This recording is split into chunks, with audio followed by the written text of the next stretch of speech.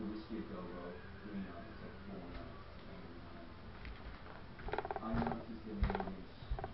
John was there one night, Ian Paice was not there, Richie was there, Seth Green. I just figured these guys were